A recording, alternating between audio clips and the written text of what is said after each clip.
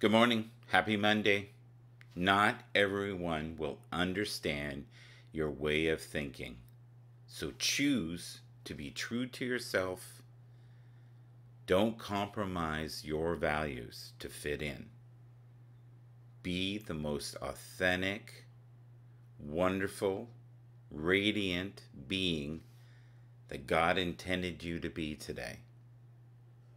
Don't ever dumb yourself down. Let your light shine and let it shine brightly on this glorious Monday. Keep being a source of joy, inspiration to those who are suffering all over the world.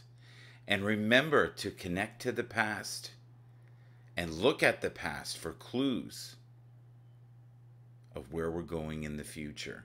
Learn from yesterday, live for today hope for tomorrow, and be forever connected to the greatest sources of light and love in the universe.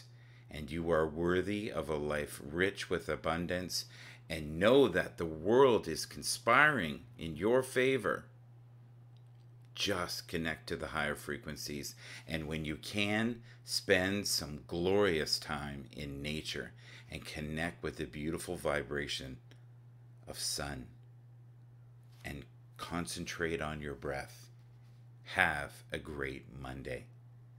You are alive with possibilities.